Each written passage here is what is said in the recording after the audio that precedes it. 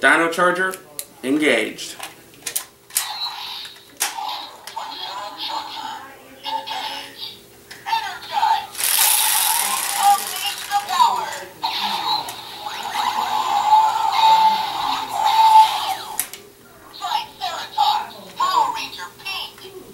This will maybe be the only time a male will be using the power of the Pink Ranger, unless Saban uses the new um, the Power Ranger series dealing with trains. Welcome back to another Power Rangers vlog. This time, this is sorry, my brain's just all scattered. I'm trying to get through everything. The episode is a pink is Shelby's episode, and the episode's called "Let Sleeping Zords Lie," a play on on the word "Let Sleeping Dogs Lie." Meaning that if you don't, if you mess with the sleeping animal, it will attack you. And basically this is what happens.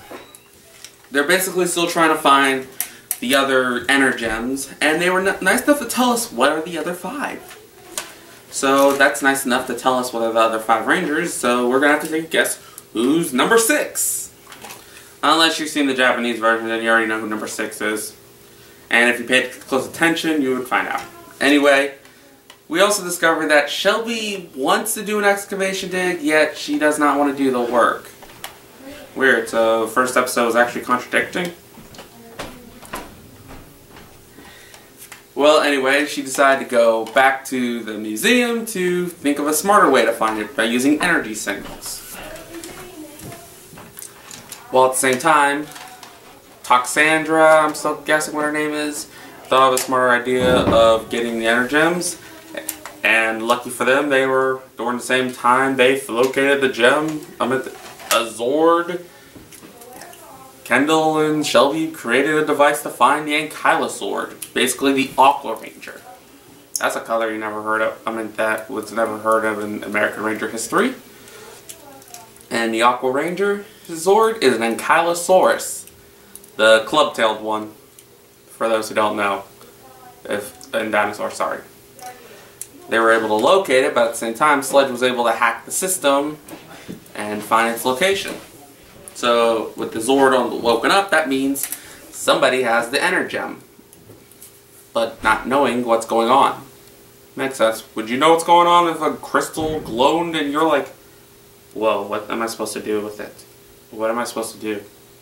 Oh well. But yeah, they found the Zord, and they're meeting the monster of the week. I did not catch its name fast enough because they only like said it once. But it's a bug-like creature whose stings can cause you to go pure rage. And ironically, it was funny that they shot the caveman, the one who has the more strength out of all of them. After they discovered just remove the needle, you're cured. They have to now take it off of a giant Ankylosaurus Zord. So it's like, oh crap, you gotta take it off that thing. Shelby was blaming herself that she let the Ankylosaurus get noticed, but it was also Kendall who didn't encrypt it, so both to blame. So Kendall's idea, you'll get the stinger off the Zord, with Shelby following, doing a remembrance from the first episode of her sneaking on. And at the same time, the monster's known that the Ankylosaurus is still in that hole. I don't know why, I just did the bust out of the hole, what, after they all ran, like, F it. I'm just questioning that one.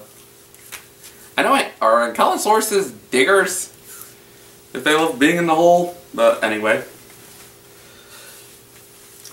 Yeah.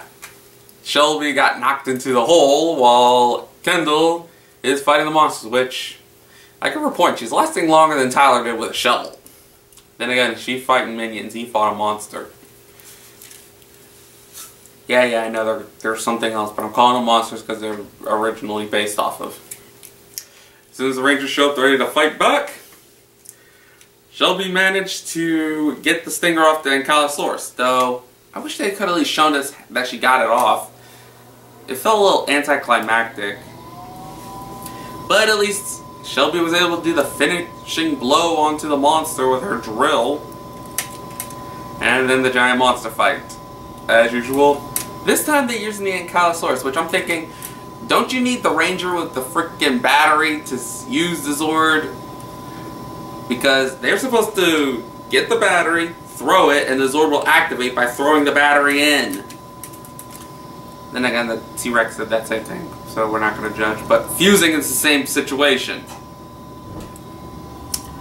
Anyway, they used their new hammer technique to kill the monster by, I'm wondering how launching it into orbit with a hammer explodes it. Whatever. The monster's saved, they've defeated, uh, they've saved the Ankylosaur, no clue what's going to happen to it now, because we have no clue where the Zord's located. I'm at the Ranger who has the power located. I'm wondering who's going to be the Ranger for that one. Since in the Japanese version, the Aqua Ranger was an Caucasian, um, I mean a Caucasian male, so it's like weird looking at it. I'm just saying.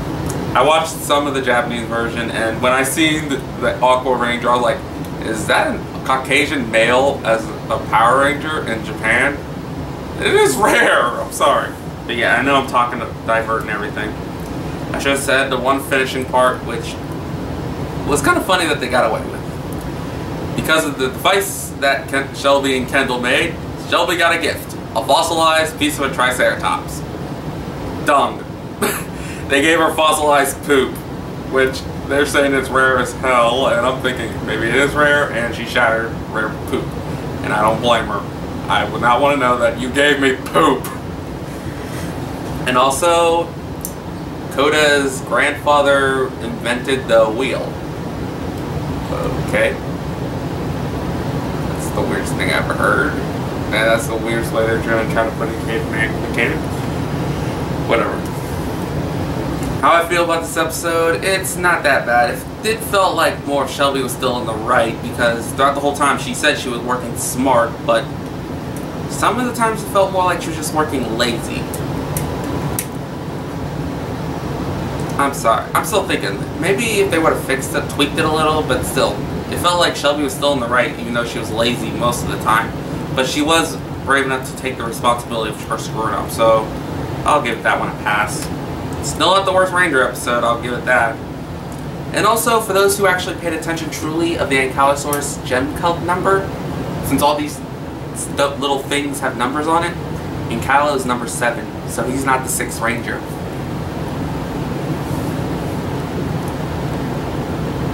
So, yeah, even before, without cheating, I know he wasn't the, set, the sixth ranger. All I can say is it's not that bad of an episode. Shelby does get a style of a comeuppance, so I can't hate it for being a little lazy at points. The monster, you barely got any info about the monsters. All we know was it was like a bug-like creature with a triton, and anytime it stung someone, they go into pure rage and attack anyone in its path. Yeah, I know the monster aren't supposed to be all given big backstories, but at least given some details or at least an attitude. All I can say is about the Ranger series is that this episode, eh, it's watchable. And all I can say, stay tuned for the next next week's to see what Ranger episode we're gonna get, and if we're gonna get more information of the Zord or the next Ranger. So until then, signing out.